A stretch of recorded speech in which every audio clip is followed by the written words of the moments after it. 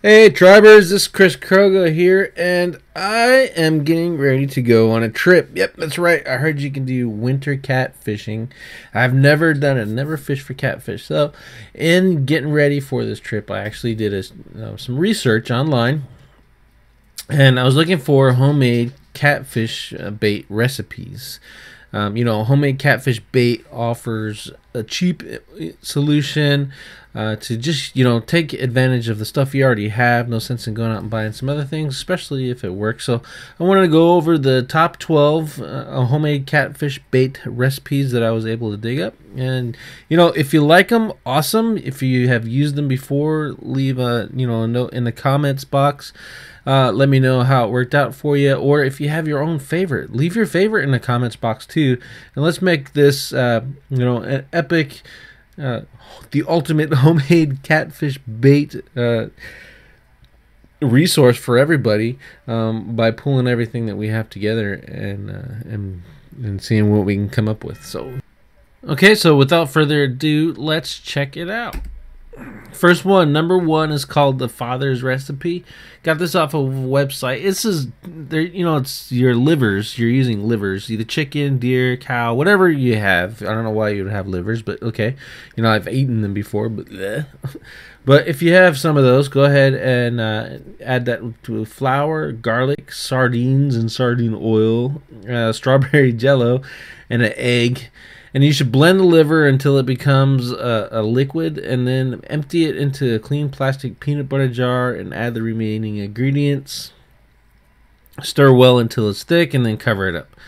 Do not open it indoors. I, from my understanding the smell is horrendous. Uh, you should allow the bait to sit for at least 48 hours um, but remember the rawer the better. So 48 hours, then go and use it.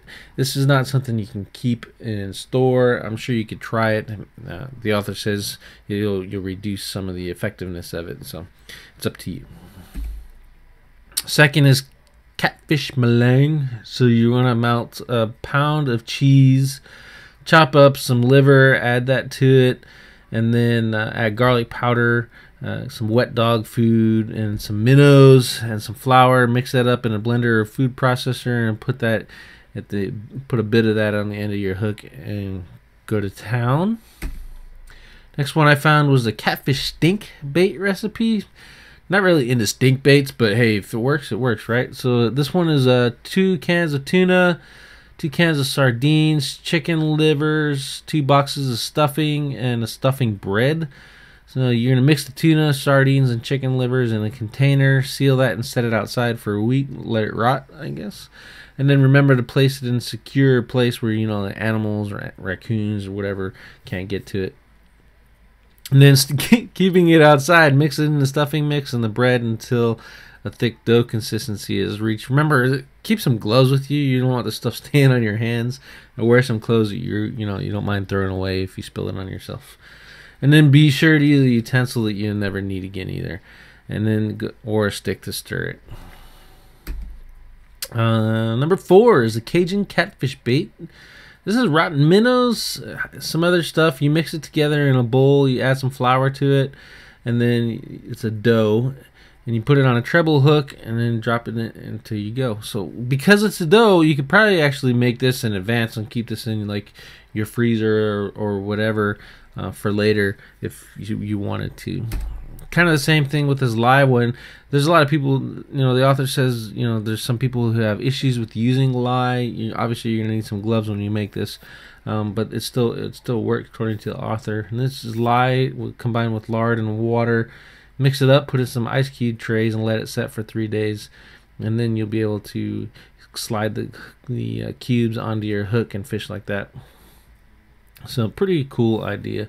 You like you see all the full recipes on the website, uh, clicking the link, and you can check that out. Or you can even get these slides that I'm showing here as well to and print them out or whatever. Uh, old man liver. This one obviously is liver, some corn flakes, some garlic powder, some cheese, molasses, and sugar. Mix that all up together. Add some flour so it'll stay on the hook. You, know, more flour probably the better to keep the consistency of it, but not too much. You don't want to dry it out completely.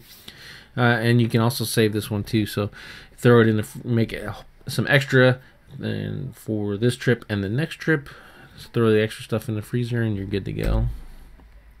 Uh, you can do the same thing with Wheaties and hamburger, uh, cheese, garlic, and cooking oil and water. Combine all those ingredients in a large bowl and slowly add the water until it's a dough, and then use that dough. Again, you can put this in the freezer. Chicken and beer. I don't know about wasting my beer. I guess if I have an old can sitting out in the sun, whatever, I'd be good. But cornmeal, flour, oatmeal, minnows, corn syrup, chicken livers, shrimp, cat food, whatever you got handy, and a container to hold everything. Mix that all together like till it's like peanut butter, and then seal that and let it sit for two to three weeks outside. And then if it thickens up too much uh, to use, you can actually spray WD-40 according to the author, and it still works. So that's pretty cool. Uh, if you try that one, let me know. Uh, liver, loaf, catfish bait, chicken livers, loaf of bread, some dark molasses. Mix that all together, and then you know let it let it go to town. Push it together with your hands until they're all combined in formidable consistency. So basically, just keep mashing until you can use it um, properly with your hooks.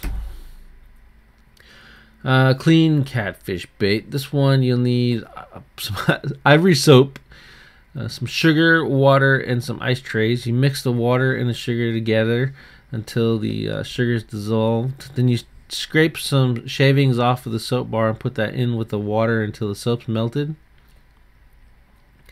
And then you use a spoon to fill the ice trays with the soap uh, sweet mixture. The ice trays let those cool for a little bit, just till the soap starts to solidify. But don't let it get too hot, too hard, or it'll break when you're trying to manipulate it. Remove the cubes and cut them into smaller bite bait-sized pieces, but don't again don't let them get hard, or else it'll be uh, hard, impossible to cut to cut these up. And then place a cube into a like a tight container, and when you're ready, you put them on your hooks and fish. Let's see what else we have. Uh, meat and cheese bait. This is uh, uncooked meat, some Velveeta cheese, and a teaspoon of garlic and some flour make that into a ball, put that on your hook, and you're good to go. Again, this is one you can put in the freezer. And last but not least is some cream corn, uh, homemade fish bait, um, cream, can of cream corn, some leftover grease, some cornmeal, a couple of oats for the consistency, and the cornstarch to help it together. So you mix the cream corn and the grease, you heat it till it's warm and the grease melts, then you put in the dry ingredients.